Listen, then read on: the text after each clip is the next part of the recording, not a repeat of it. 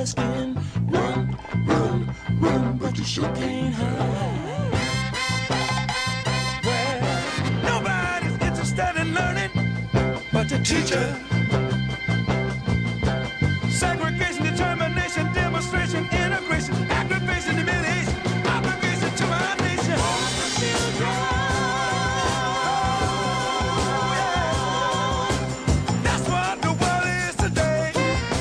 Morning and welcome to Detroit Wants to Know.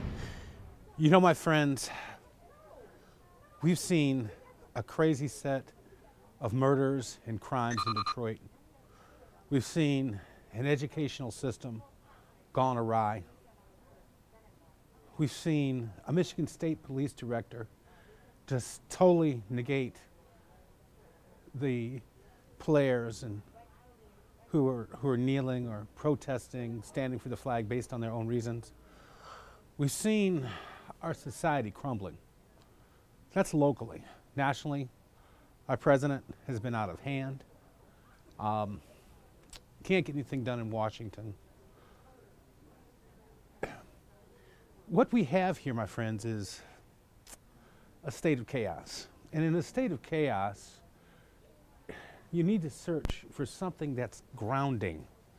You need to search for something that's grounding. And this week, I'm going to take you to this place that's grounding. That's grounded. I'm at St. John's Armenian Church in Southfield.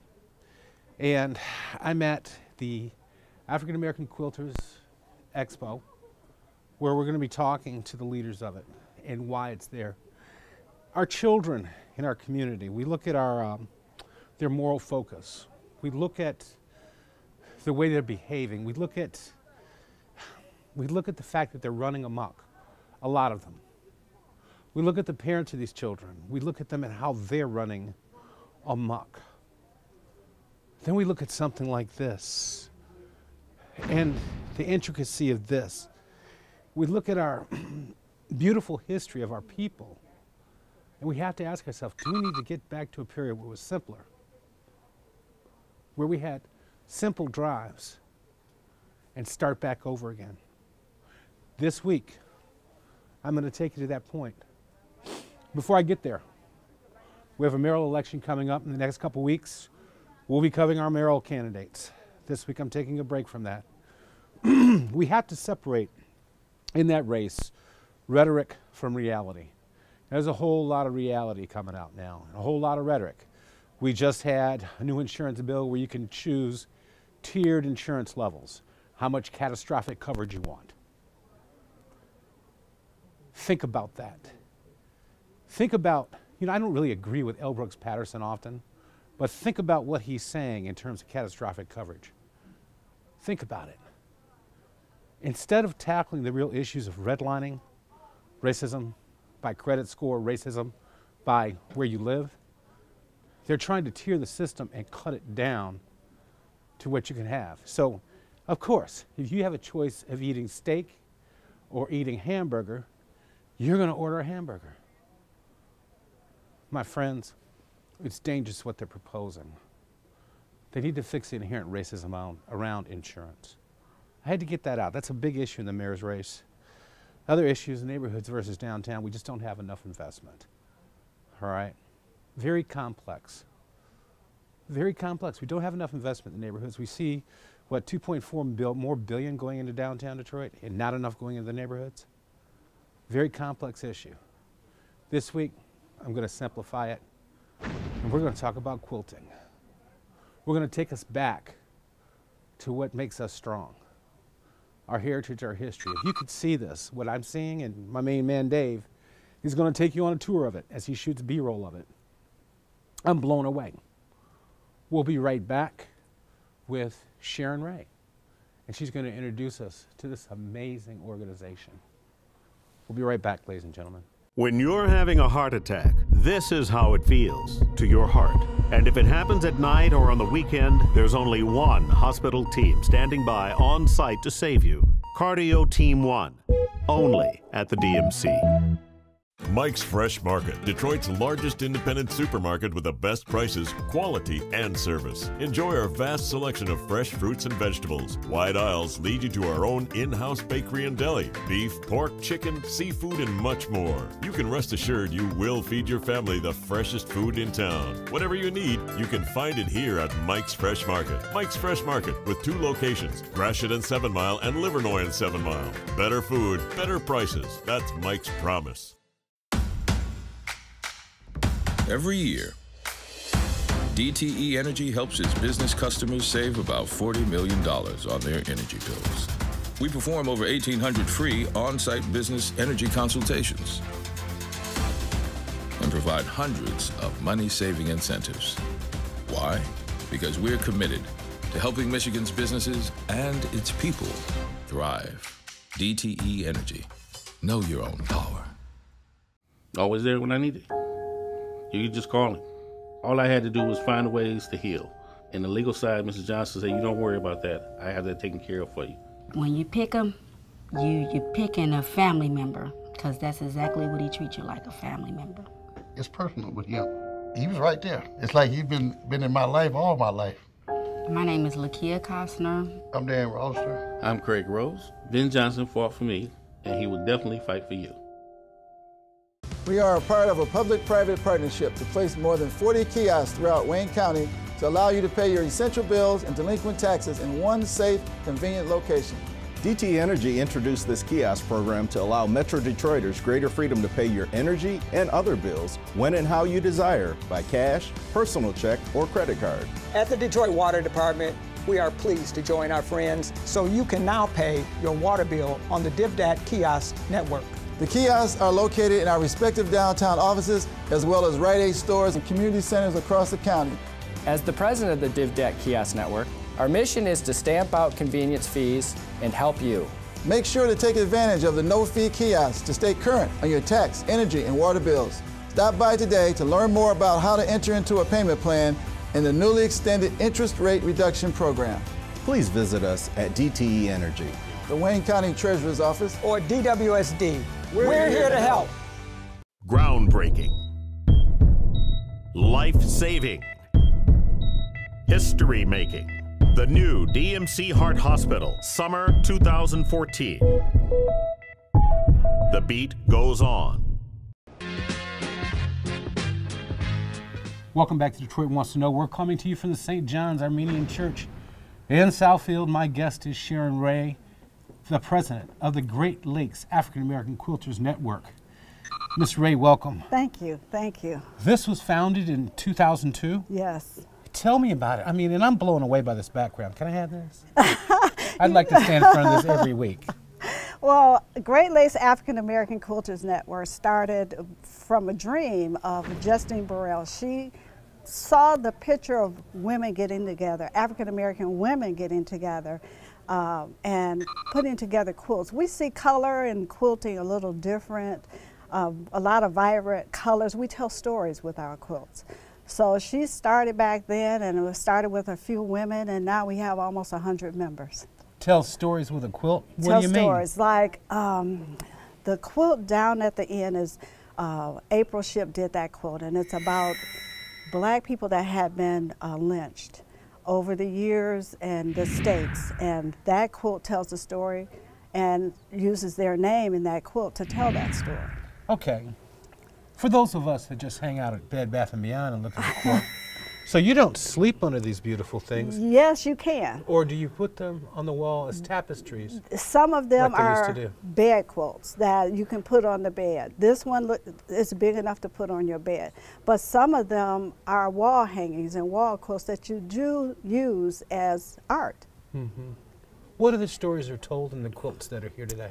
Um, we have another quilt that tells the story of uh, Music Man. We have a quilt that people do. We have Rosa Parks. Uh, we have um, former President Barack Obama. We have a quilt from him. So it's a lot of different stories that are told by these quilts. Mm. Do you know what story this one tells? This one's just a beautiful quilt. This is just, this is just a beautiful quilt. It seems to tell the story of a great diaspora, which we are. Yes. As you all came together with your dream What does it do for you as a group as a woman, a group of women? Uh, as a group of women, we come together, and it's more than just quilting. It's more than quilting. It's us a sisterhood. It's we get together, we talk, we sew. We also make quilts for charity. We make quilts for veterans. We make uh, quilts for Children's Hospital, and our quilts we've made also for Houston because of the flood. So not just getting together quilting, uh, we add to. We want to help with some of the problems of being warm. Quilts make you feel comforted.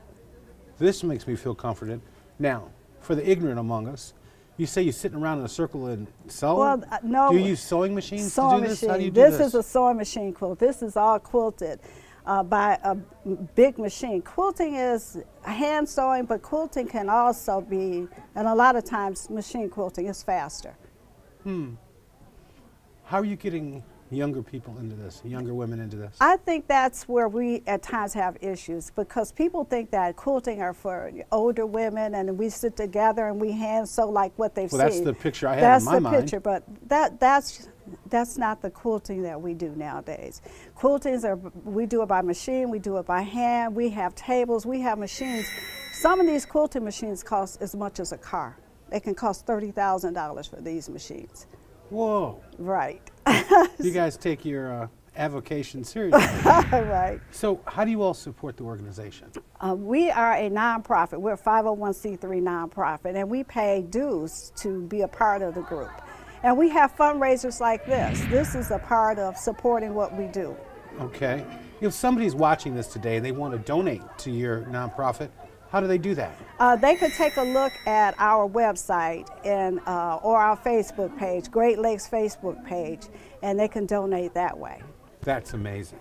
That's amazing. Thank you. Now we're going to meet your vice president in the next segment. Yes. That should be interesting. Yes. Because I want to hear about the whole diaspora of this thing. Okay. All right. Okay. I want to thank you very much. I want to thank Ray. you. I appreciate you taking the time to do this with us. Well, it's amazing. I, I tell you, I'm searching for answers. This seems to be an answer. Simplicity. Simplicity throwing us back to a different time. Yes. Telling a story with our hands. That seems to be an answer. Yes, I, I agree with you. And that's why I ask you about the youth. Yeah, we, we want to try to get How do younger people. We definitely do. Right. This is a constructive thing. Yes. Especially young ladies. Yes. Ladies and gentlemen, we'll be right back. If you or a loved one needs help, call the Detroit Wayne Mental Health Authority at 1 800 241 4949. The Detroit Wayne Mental Health Authority is your provider for services when you need a hand. We provide services for your whole family in substance abuse, autism services, and parent support. We are there to help with people suffering from depression, anxiety, and those with developmental disabilities. We can assist you with a variety of your mental health care needs housing placement for the homeless, job placement, and prescription coverage. As the largest mental health care organization in the state, it is our job to care for you from the neck up. We are the source for all your mental health needs. We are there for you and your entire family. Call us at 1 800 241 4949 or visit our website at dwmha.com. We got our dream home at a dream price. It's buildingdetroit.org. This was the house that was meant to be. We actually have a house. I mean, this is our house. Register to bid, attend an open house, buildingdetroit.org. Welcome home. Now, see more homes for sale than ever at buildingdetroit.org, including Own It Now homes, online at prices from $1,000. Just go to the Own It Now page at buildingdetroit.org. Every year, DTE Energy helps its business customers save about $40 million on their energy bills. We perform over 1,800 free on site business energy consultations and provide hundreds of money saving incentives. Why? Because we're committed to helping Michigan's businesses and its people thrive. DTE Energy. Know your own power.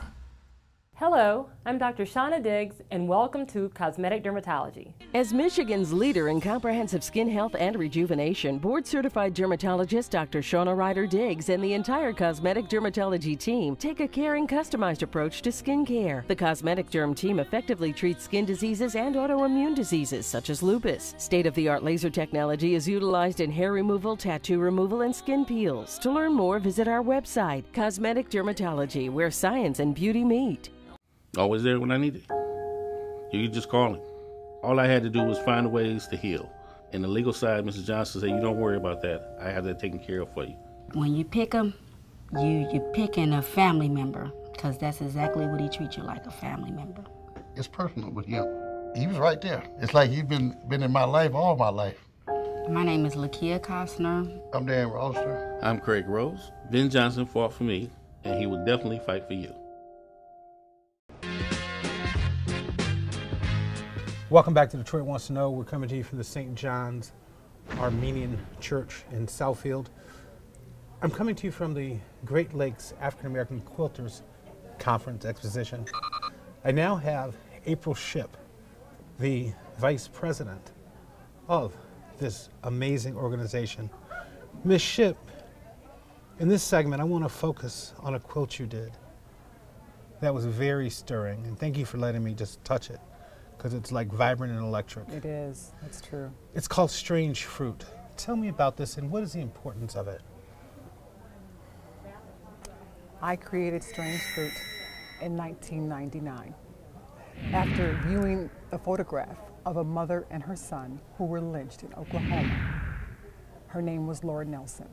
And when I saw the photograph, it never occurred to me that they lynched women and children. I thought they lynched men and criminals, but not women and children. When I saw this photograph of this mother and her son hanging from this bridge over a river, I was stirred, I, I was moved. I wanted to do something to preserve that, to preserve those names. So I thought, what could I do? I found their names and I made a quilt. It was a long journey. That quilt took me three years to make and it has the names of the men, women, and children who were lynched in this country in a 100 year period. Hundred? I mean, that's. From 1865 to 1965. Whoa. Lynched and murdered. So we know the famous ones. We know Emmett Till, right? Right. We know uh, we know Martin Luther King, who's also murdered. We know those ones, right? Right. We don't we don't know we don't know Laura Nelson. We don't know Ann, uh, Mary Turner who was lynched also. So they're names are people that we don't know. And, and to me, what's happening today is like lynching with all the police brutality that we have going on. For instance, in Laura Nelson's case, she was arrested for, she was accused of stealing a cow. Of stealing a cow. They took her to jail. The mob came and got her and her son from jail. They're, they're in jail. They should be safe in police custody. Is that not Mm. correct? Mhm. The mob came and got them from the jail, and, and the the sheriff gave them to the mob, and the mob then lynched them. There are two nooses at the top. The names are inlaid in gold. In gold, that's right. All the way through. That's right. And has it by state. That's right. What importance is this for our young school children to learn? The gold represents they're precious in the eyes of God. Mhm.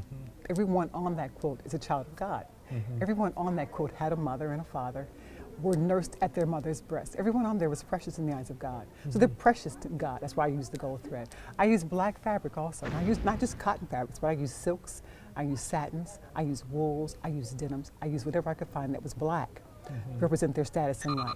Mhm. Now, when we think about what's happening today, it's not uncommon with what happened then. And I think that children should, should see this and recognize this is our history. This is American history. This is not just African history, but this is American history as well. Mhm. How do we get our children to learn this? I mean, quilting sits off to the side. It what does. you what you're talking about is not taught about in school. No, it's not taught in it's school. not, it's not. How do we expose them to this? That's a very good question. I used to uh, go out to schools uh, up in Pontiac near where I live and I would go and tell them these stories years ago. But it seems that that's, that the need for that went away. I, I would be, you know, go to schools every week to talk mm -hmm. about Mm-hmm. this and talk about quilt making, but all of a sudden, there's no need for it. And I'm not sure how to get that back. Mm -hmm. You know, we do teach, we do, wanna, we do want to teach the youth. I do want to get that back. If we don't learn from our past, we make the same mistakes. Exactly.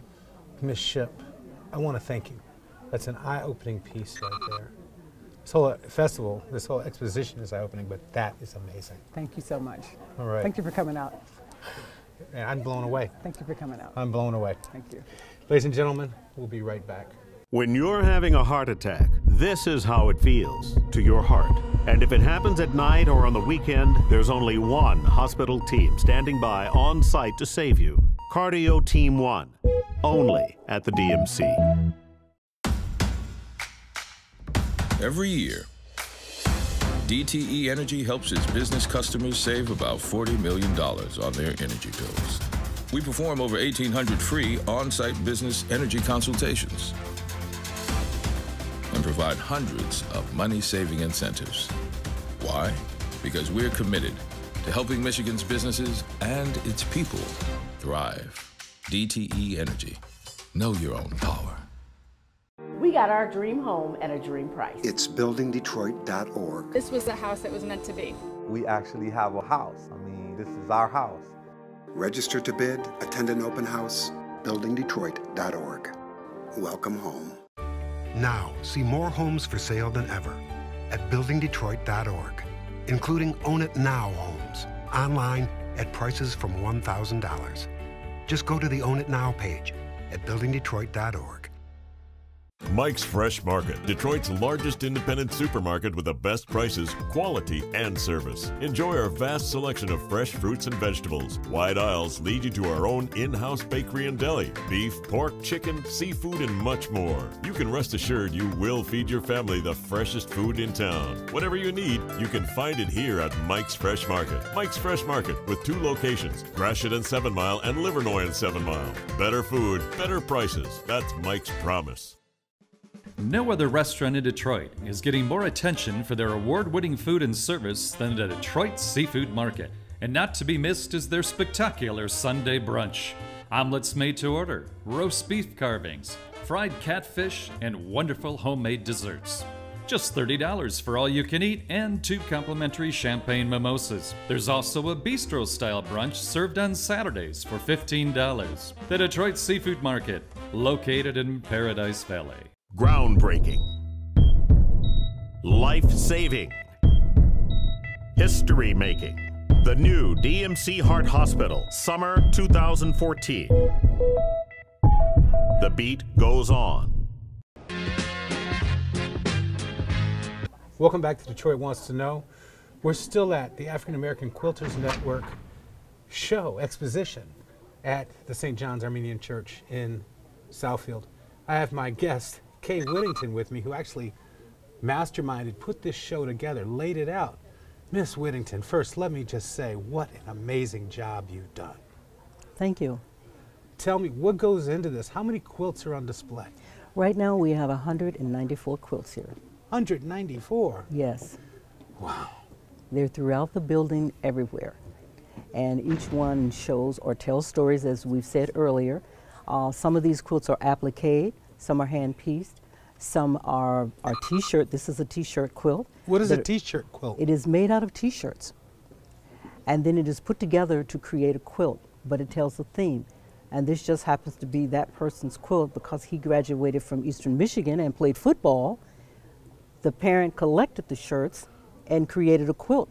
Now he can sleep under it or he can hang it on the wall because it has a pocket. Each of these quilts have pockets. That's why they're able to be hung as they're hung, but they also can be used to lay on the bed. Uh, when I get the applications from the members, I have to consider color, theme, size, uh, shape. Uh, I have a quilt on the other side that's a circle. And in that circle, we had to figure out how can we hang a circle on one of these frames. So all of that is taken into consideration when I start looking at the applications of these ladies and their techniques and how they created their stories, uh, colors, everything. You say these ladies. How many individual quilters are represented today? Um, I would say about 54 of them. Mhm. 54, 54 to 60 members have, are represented here with two or three quilts apiece. Mm. I myself have four in this show. Is this one of yours? Yes, that is one of mine. That's impressive. And you did this all with T-shirts. Yes, it's all based upon a T-shirt. Mhm. As a matter of fact, I'm looking at the University of Michigan shirt he has on. That would be an interesting quilt. Oh, I think he would make an interesting quilt. Can you do the bald head too? anyway, I, I digress. How many expositions like this do you have a year? We have in this group, uh, um, every two years, we have a quilt show. And so I originated the first quilt show that we had in 2010.